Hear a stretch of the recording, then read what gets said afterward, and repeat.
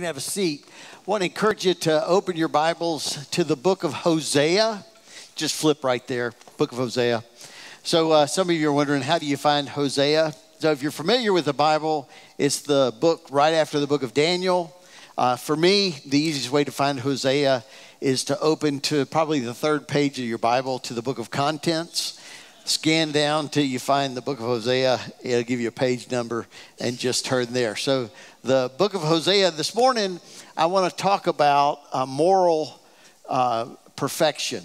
Moral perfection. There was a lady had a kidney stone, uh, which uh, she painfully passed. Some of you had kidney stones can relate to that. A little while later, you know, six months later, her husband had a kidney stone, which he actually passed also. Um, but she took it as an opportunity to say to him, Let uh, the one who cast the first stone be without sin. Let the one who is without sin cast the first stone. So uh, she, in essence, was claiming uh, to be morally perfect. Thank you very much for my inability to tell a joke. so um, uh, Benjamin Franklin also uh, pursued uh, moral perfection. Like, he's a very interesting guy. In his autobiography, he writes about his desire to be morally perfect. He said, I convinced the bold and or I conceived the bold and arduous product project of arriving at moral perfection. I wish to live without committing any fault at all. I would conquer all that either natural or inclinations, customs, or company might lead me into. As I knew or thought I knew what was right or wrong, I didn't see why I might not always do one or the other. Well, I could not I always do right or wrong. But I soon found I had undertaken a task of more difficulty than I had imagined. While my care was employed in guarding against one fault, I was often surprised by another fault. Habit took the advantage of inattention. Inclination was sometimes too strong for reason. I concluded at length that the mere speculative convic- conviction that it was our interest to be completely virtuous was not sufficient to prevent our slipping. In other words, if the desire is there, that's not going to be sufficient to keep you morally pure. You're going to slip into moral, moral impurity. All of us have sinned. All of us are morally impure except one, and that is Jesus Christ. Jesus committed no sin. Where does the Bible teach that? And why is that important? That really is the question that Matthew is answering in Matthew chapter 2, verses 13 and 15. You don't need to turn there, I'll have it for you on the screen.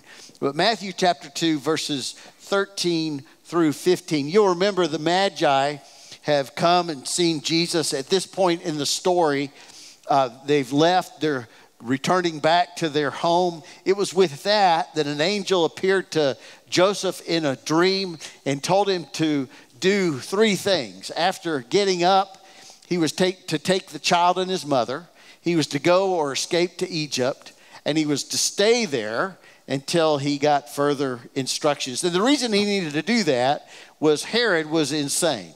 He was consumed with jealousy was paranoid that somebody else was going to try to take his kingdom.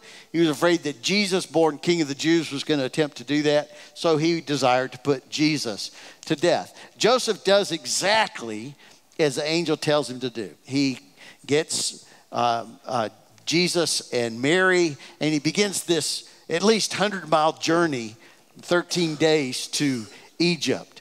After they got up, he took the child and his mother he left or escaped for Egypt, and he stayed there until the death of Herod. It makes perfect sense. And then Matthew has this conclusion, which throws people. He says, All this happened to fulfill what the Lord had said through the prophet Out of Egypt, I called my son. All this happened to fulfill what the prophet said Out of Egypt, I called my son. And you think yeah, there must be more to it than that, a little confused. You desire to flip back to where the Old Testament said that, so you look at your cross references. You see he's quoting Hosea 11 and verse 1. And so you flip back there and you read about a problem. The problem is, on one hand, Hosea is not talking about a person, he's talking about a people. It says, When Israel was a child, I loved him, and out of Egypt I called my son. The son in context is not a person, it is a people. It's Israel. Be- beyond that, uh, Hosea is not talking about prophecy, he's talking about history. There was a time in Israel's history when they were in bondage, enslaved in Egypt. God had compassion on his people and he delivered them from Egypt. So when he says, Out of Egypt I called my son, he's not talking about prophecy, he's talking about history. But for some reason, Matthew kind of sees what happened with Jesus. I mean, he fled a tyrannical leader to Egypt, came out of Egypt after that leader died, and boom, somehow he takes that line as this word of prophecy that out of Egypt I called my son. Like, what in the world is going on with that? Eh, you're not the only one that wonders what Matthew is up to. I mean, it almost sounds like he's grasping at straws. A number of people have noticed that. A number of scholars have noticed that. Uh, one of the uh, New Testament profs at um, the bastion of evangelical Christianity, um, uh, TCU, uh, accused Matthew of manipulating the evidence in a way that would be unconvincing to outsiders. I mean, he's just grabbing some kind of Old Testament scripture and applying it to Jesus. But really, what he's doing is he's manipulating the evidence. But the prophet TCU is not the only one saying that.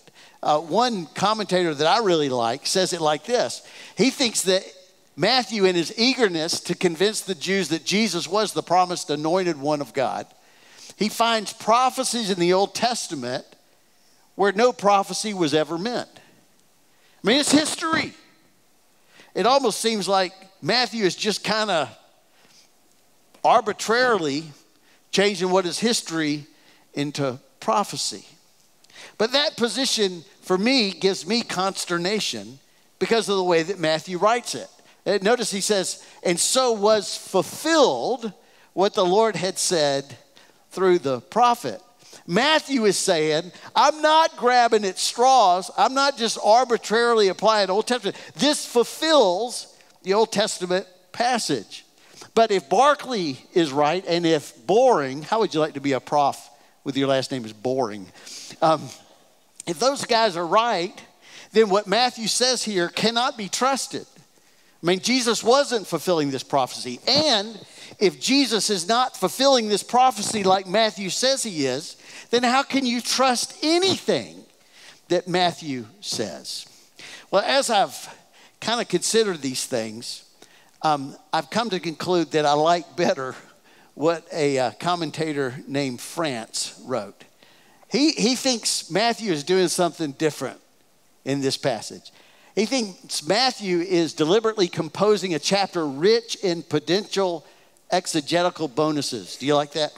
Um, so that the more fully a reader understood the Old Testament context, the more the reader was likely to derive um, meaning from his reading. What France is saying is that the problem is not with Matthew, the problem is with us. The problem is that we don't really understand our Old Testaments. Like we read the Old Testament superficially, and we import our superficial interpretation of the Old Testament into what Matthew says and accuse Matthew of being superficial. What France says if you really understood the Old Testament, then you would see the beauty and incredible meaning behind what Matthew wrote when he quoted Hosea 11:1, out of Egypt I called my son. So let me show you what I think Matthew is saying when he quotes Hosea as saying, Out of Egypt I called my son. To understand what Matthew is saying, I think you've got to first understand what the word fulfilled means. So when we read the word fulfilled, so the word was fulfilled, what we think is it's something that was predicted and came true. Much like earlier in Matthew chapter 2, when Matthew said, so was fulfilled, um, you know, the Messiah will be born in Bethlehem. Jesus was born in Bethlehem. Therefore, this prediction about the Messiah now has come true. But what we neglect is that there's a second meaning of the word fulfilled.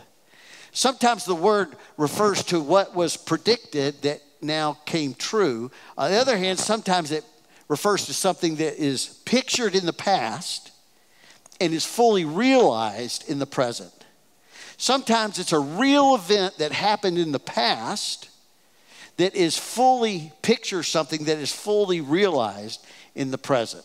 This is the way James uses the word fulfilled in James chapter 2 and verse 23. So he quotes this Old Testament passage about um, Abraham.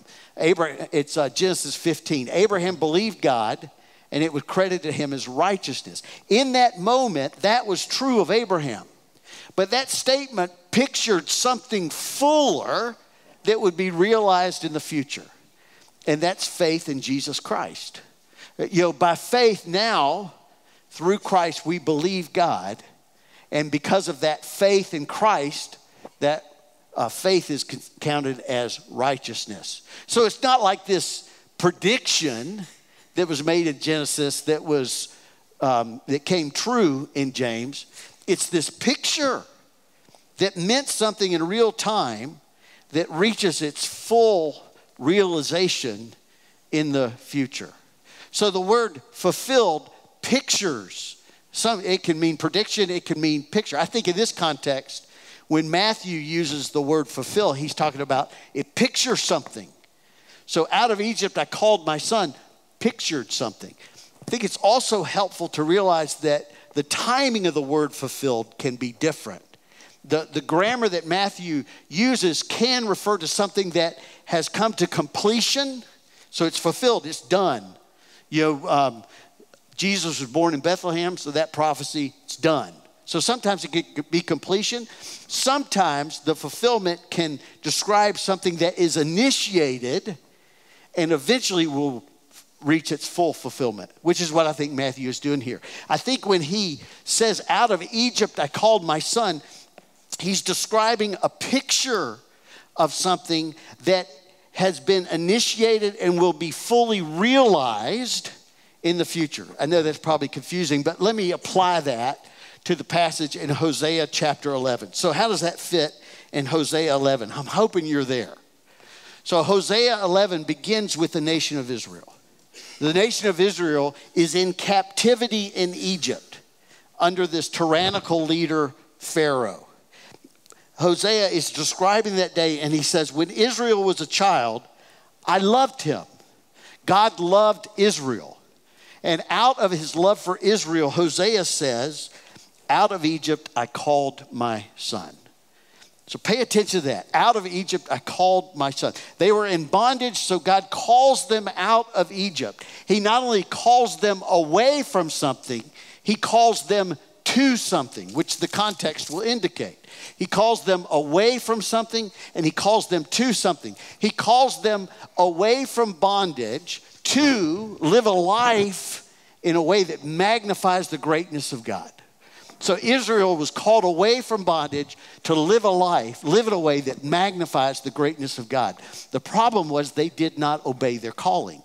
They were called out of Egypt from to, but they didn't obey their calling. He goes on, verse 2. He says, But the more they were called, the more they went away from me. And you remember the story Israel got involved in gross idolatry and sin. Consequently, they fell under the judgment of God. And in verse 5, he says, As a result, will they not return to Egypt? Egypt is this metaphor for Assyria. Will not Assyria rule over them because they refuse to repent? You'll remember that Israel, because of their sin, fell under the judgment of God. So God brought in the Assyrians that carried the nation of Israel off into captivity. That's history.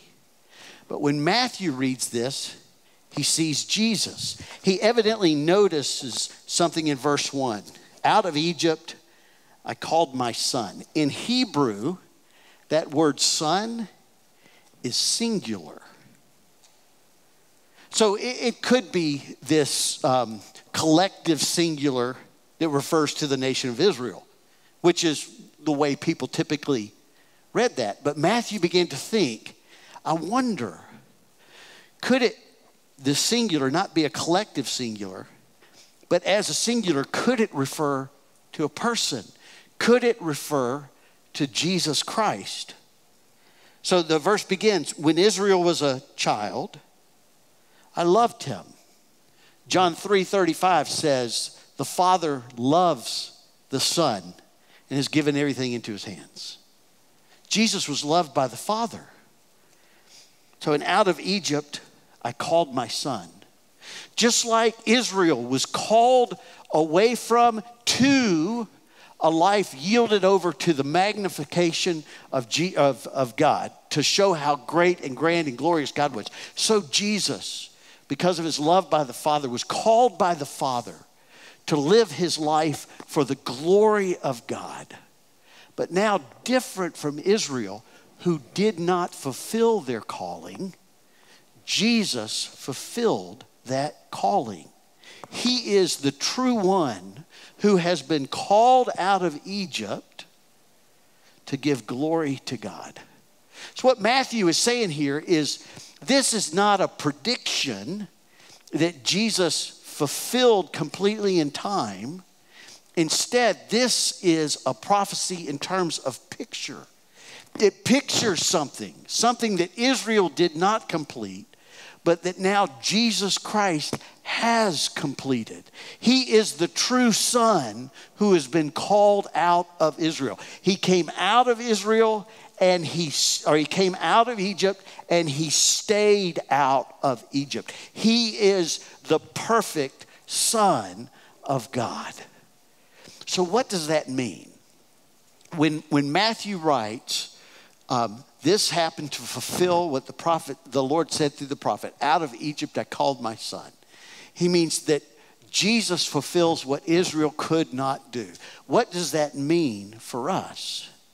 It guarantees you and I of the possibility of eternity. So when the a rabbi quoted a passage he assumed that his audience was familiar not just with that passage, but with the entire context of that passage. So, rabbi may say, For God so loved the world. And he knew his audience would understand the remainder of that passage and its whole context. They were, Jews were incredibly familiar with the Old Testament. So when Matthew uses this passage, he assumes that you know the whole context of Hosea chapter 11. Watch where chapter 11 goes. So they're sold into captivity under the nation of the hand of Assyria, that because of their sin. But God says, I'm not going to leave you there. Verse 8 in chapter 11, he says, How can I give you up, O Ephraim?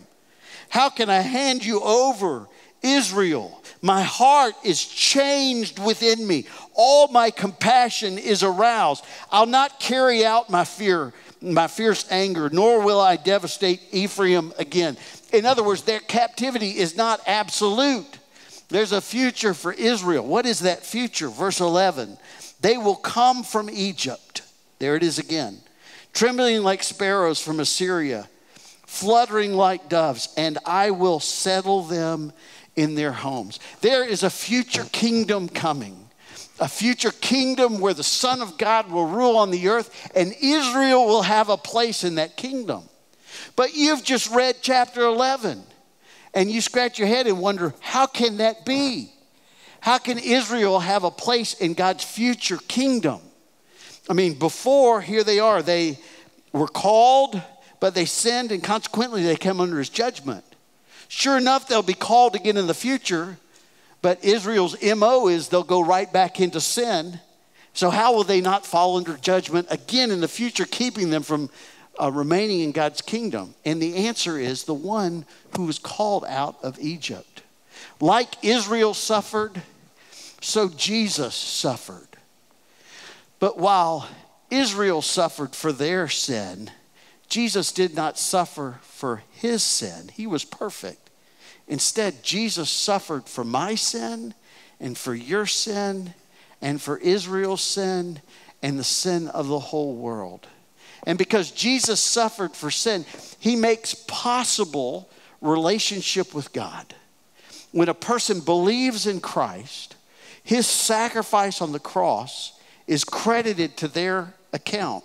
First Peter says he himself bore our sin in his body on the cross. When we believe in him, um, his death and sacrifice, payment for sin on the cross is credited to our account. Consequently, we are forgiven, reconciled with God, which means that home in this future kingdom is not based on my behavior. Home in the future is based on my belief. If I, if you, if Israel believes in Christ, then judgment is not absolute, it's temporary, and eternity will be spent uh, with the Lord. That's what Matthew is trying to say when he says, Out of Egypt I called my son. To summarize, I think what Matthew is trying to say is God called Israel away from Egypt, out of Egypt, to live for his glory, a calling they did not fulfill. And like Israel, the Father called the Son away out of Egypt to live for his glory. Yet, different from Israel, Jesus fulfilled his calling, and in fulfilling his calling, made eternity with God possible for you and me. So, what does God want us to say, want to say to us through a passage like this? Let me just give you three applications and I'll be done. The first is um, there is a beauty to Scripture that skeptics never see. I wish I had stated that point instead of negatively. I wish I had stated it positively. I wish I had said there's a beauty to Scripture that seekers can find. So, by skeptics, I don't mean people who are trying to find truth. I mean, people who have a disposition or predisposition that says, you know, this, this, the Bible is, um, it's not truth, uh, it's full of errors. Um, it's just ancient writings and it's meaningless, and I'm going to read it and prove to you that it is. And so they come to Matthew chapter 2 and verse 15, and they see out of Egypt I call my son. And, you know, Matthew's just proof texting. It's just a foolish quote. You know, that's what a skeptic would say. Those, a person who is skeptical like that, um, they'll never see the beauty of Scripture, but there's so much in Scripture. Matthew 2, verse 15 is an example of that. I mean, these guys, they knew their Bible. And when Matthew quotes that verse, it is full of meaning. And if you are a seeker who seriously considers the Word of God, you set yourself up to find incredible beauty that's in those pages. There's a beauty to Scripture that seekers can find. A second thing is there's a way to God that Jesus made possible. I mean, because we were morally imperfect, we were doomed to eternal separation from a holy God. I mean, relationship with God was impossible, but Jesus made a way possible. He made that way possible by being the son that came out of Egypt.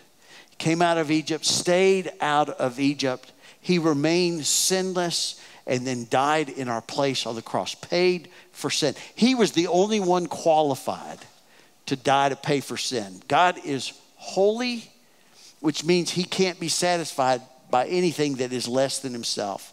Because Jesus was God veiled in human flesh, and because Jesus was perfect, he's the only one qualified to pay for our sin. And because he paid for it, he made possible relationship with God. And then a third thing, think the passage says is there's a payment for sin that must be received. There's a way to God that's now made possible through Christ.